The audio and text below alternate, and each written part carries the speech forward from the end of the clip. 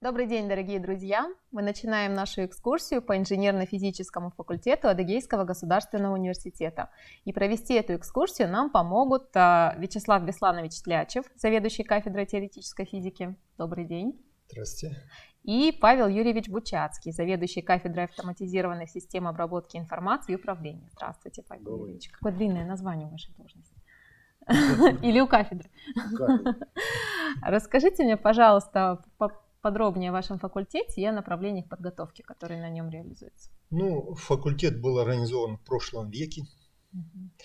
Назывался он первоначально физический факультет, но в связи с развитием информационных технологий, автоматизированных систем и так далее. Понятно, что надо было двигаться в направлении инженерных наук, и поэтому он стал называться у нас, не только стал называться, а действительно ведущая кафедра стала у нас автоматизированной системой управления и обработки информации и стал называться инженерно-физическим факультетом. Ну и поэтому у нас представлено два направления, собственно говоря, подготовки. Первое направление, то, которое и было, это фундаментальная физика или физика – и второе направление – это инженерно-техническое с тремя такими, ну, как говорят там, как Павел Юрьевич правильно, профилями, да, направ, направленностями. Ну, это первая автоматизированная система э, обработки и управления информацией, и э, остальные две – это информатика и вычислительная техника и управление в технических системах. То есть на самом деле, как мы видим, большая часть как раз прикладной носит аспект – и действительно в этом направлении довольно-таки много уже сделано. То есть фундаментальная физика это больше теории, а вот второе ну, направление... Я бы не сказал, что больше теории и так далее, но имеется в виду это фундаментальная подготовка именно по физике. Понятно, mm-hmm. что у нас тоже присутствуют, это например, база. такие да, базы, присутствуют такие дисциплины, как, например, автоматизация физического эксперимента и программирование. То есть это все есть, но в другом аспекте. Mm-hmm. То есть в прикладном аспекте больше как раз вот касается автоматизированных систем управления обработки информации. Поэтому на самом деле у нас присутствует и фундаментальная часть, и прикладная. То есть вот с этой точки зрения как раз наш факультет и наиболее привлекательный. Потому что для того, чтобы заниматься фундаментальной физикой, вы должны знать и физику, а физику без математики вы не можете. То есть вы и математику должны знать. А понятно, что современные информационные технологии и моделирование, компьютерное моделирование и так далее, без этого вы тоже не обойдетесь. То есть получается интегрированная такая часть, и именно она присутствует на нашем факультете. Вячеслав Бесланович, физические эксперименты требуют э, наличия определенной материально-технической технической базы. Вот как с этим обстоят дела в Адыгейском госуниверситете? Ну, я немножко, так сказать, приоткрою завесу. На самом деле, то, что было в прошлом веке и сейчас, это абсолютно разные вещи. Я поясню. В настоящее время, например, существует известный коллайдер в Европе, в ЦЕРНе и так далее. Там накоплено столько этих данных, что этих данных достаточно всем в мире физикам заниматься, чтобы только эти данные обрабатывать. Я пример просто приведу. Но более того, в настоящее время вы можете эксперименты выполнять, сидя здесь, на любой установке, которая находится вообще далеко от нас. Причем это делается очень просто. То есть вы фактически, так сказать, ну, должны войти в определенный консорциум, написать определенные там обязательства, что вы не будете там что-то там не такое делать. И вы заказываете тот или иной эксперимент, и вы получаете доступ через свой компьютер и так далее, и проводите все эти исследования, находясь здесь. То есть то, что было в прошлом веке, практически это уже редкость. То есть вы можете такое позволить себе, если вы большая какая-то ну, организация. Ну, например, Институт физики твердого тела, он может себе позволить, потому что как раз там собрали людей, и они, для них поставлена такая установка. Но это не означает, что мы не можем там участвовать. Мы можем, да, участвовать в экспериментах, которые у них проводятся. И очень простым способом. Именно через сеть. Угу, То есть на самом деле это есть. И, кстати говоря, Павлович, как называются вот эти, э, когда все собирают оборудование в одном месте, как это есть программа, я, честно говоря, врать не буду, забыл. Ну, например, э, в регионе у нас есть Южный федеральный университет. И там собрали оборудование какое-то уникальное. И на этом оборудовании мы можем выполнять эксперименты, сидя здесь. Угу. Если вы входите в консорциум. Центр угу. коллективного пользования. Вот Угу. И То наши есть, студенты тоже нет, участвуют? Они могут участвовать, некоторые участвуют. Больше того скажу, некоторые студенты, которые были у нас студентами и так далее, они сейчас э, ну, высоких результатов достигли. Проще говоря, ну вот в Институте физики твердого тела в Черноголовке, ну как вот, э, вроде бы бакалавром был, магистратура, теперь он аспирантура, у него публикаций, ну да, бог памяти, ну где-то порядка восьми публикаций в Physical Review. Это ведущий журнал мировой по физике.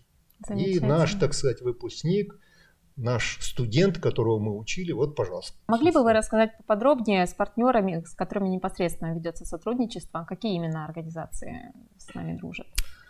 С нами дружат ну, первое, дружит с нами Томский государственный университет. Кстати говоря, он входит в топ, ну как там, э, тройку российских вузов. То есть вот там МГУ, там МФТИ и Томский университет. То есть на самом деле это очень такое серьезное. Дальше с Кабардино-Балкарским университетом, точно так же с кафедрой теоретической физики Черноголовки, как я говорил, вот Институт физики твердого тела, Российская академия наук, ну и так далее. То есть на самом деле спектр широкий, даже включая завод, который вот у нас здесь, у нас рядом находится, Маш-завод, у нас тоже с ним заключен договор на выполнение определенных работ, договора и партнеры у нас есть. И в принципе, так сказать, не только здесь, и за границей есть.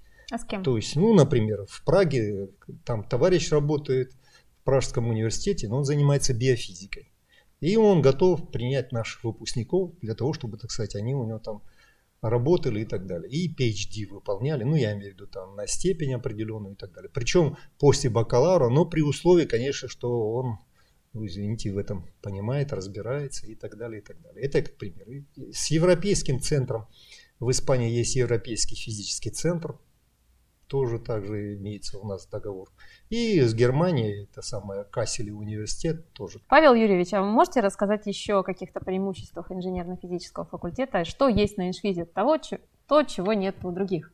Самое главное у него сейчас. Ну, хотелось бы, да, продолжить вот э, рассказ Вячеслава Беслановича. Ну, какие преимущества? Ну, первое преимущество, э, мы начали говорить о том, что физика и профиль, фундаментальная физика, это, конечно, фундаментальное образование – фундаментальные понятия, которые позволяют э, понять или, так сказать, попытаться понять, как устроен мир.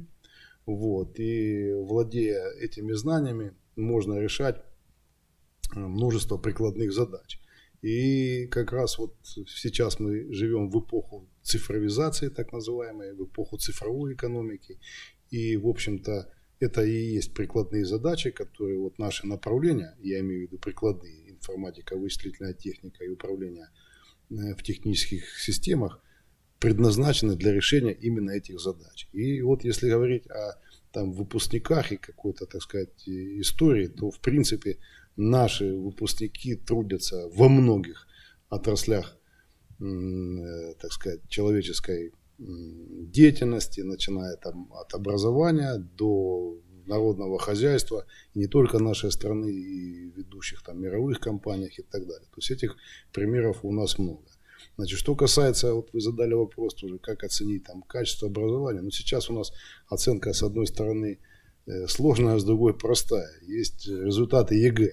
Вот. И входным параметром у нас, да, это мы оцениваем по тем результатам, которые есть.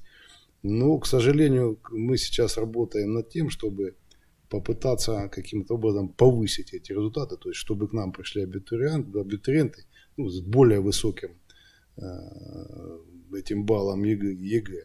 Вот. И надо отметить, что, допустим, вот по некоторым направлениям балл ЕГЭ увеличился вот за последний год, скажем так. И эта тенденция нас как бы впечатляет и надеемся, что так сказать, она продолжится. Но это Именно результат рост... активной профориентационной работы. В том числе, да, в том числе, да, и, и значит, и я думаю, что все-таки тоже ну, понимание происходит у наших абитуриентов, то, что сейчас, так сказать, э, с учетом развития информационно-коммуникационных технологий, то есть можно э, решать серьезные задачи и получать какие-то знания, ну, не уезжая да, из, из своего дома.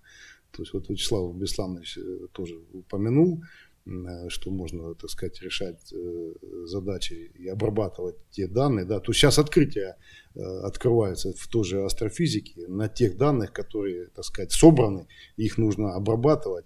И как раз вот наше направление позволяет именно это делать. То есть анализ данных – это такое современное направление нынешнее – вот, которая позволяет делать открытия, в общем-то, не, не, не исходя из дома, от компьютера. И это все возможно. И подтверждение тому, действительно, у нас э, заключены договора с такими известными э, российскими научными учреждениями, как Баксанская обсерватория, это, э, это э, значит, уникальная обсерватория, в которой тоже наш выпускник трудится уже, по-моему, на уровне научного сотрудника.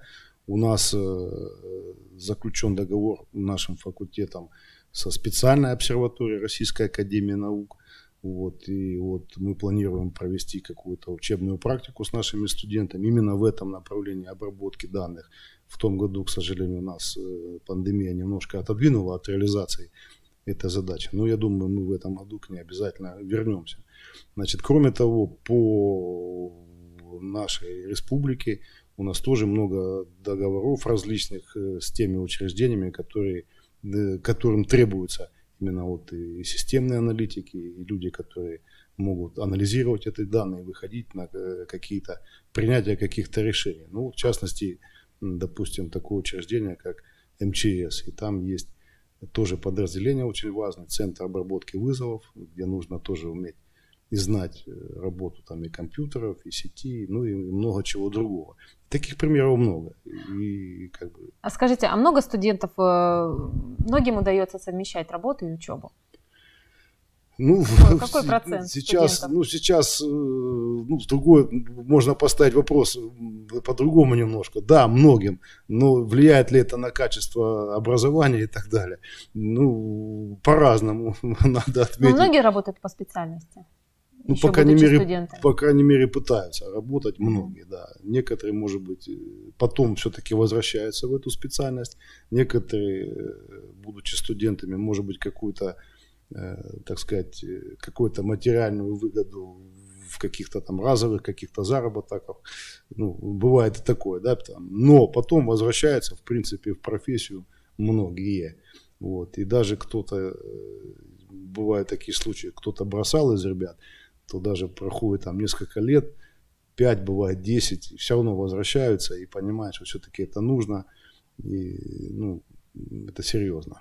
Учиться на факультете, на инженерно-физическом факультете, наверное, сложно, и лишних людей там не бывает, видимо, случайных. Ну, ну, любое обучение... Старше второго курса. Любое обучение, оно как бы требует какого-то преодоления человека, вот, это сложно везде, но с другой стороны это компенсируется интересно, интересом, это интересно. Сейчас вообще возможности, видите, с, опять же, с развитием вот, информационно-коммуникационных технологий, опять же, вот пандемия, с одной стороны, да, где-то нам сузила какие-то наши возможности, а с другой стороны, открылось много возможностей других, множество ресурсов, открыли свои курсы совершенно бесплатно. И вот кто, так сказать, хотел получить дополнительный какой-то объем знаний, очень серьезных университетов, у них такая возможность была, причем совершенно бесплатно.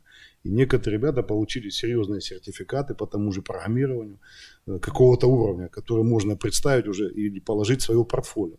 Вот. Такая возможность тоже есть. Кстати говоря, вот еще по поводу одного договора, э, вот, коль мы тему программирования затронули, то есть наш университет вот, э, ведет такое большое сотрудничество с очень мощной компанией ITV Group, компания Axon, которая вот с аналитикой, да, какой-то связано и видео, видеоаналитикой. И вот, в принципе, наши выпускники работают в отделении вот как раз в Майкопском, вот, ну, на ведущих позициях, ролях программистами, разработчиками и так далее. Наши ребята, правда, они были краснодипломники все, но тем не менее, это так, они работают. ITV забирает у нас лучших. Ну, как бы нет, она как бы она забирает, но они остаются здесь. Вот это очень важно. И, кстати говоря, и преподают у нас, будучи уже работодателями, и наших студентов тоже уже они, так сказать, могут каким-то боевым навыкам вот, э, работы показать на своем примере.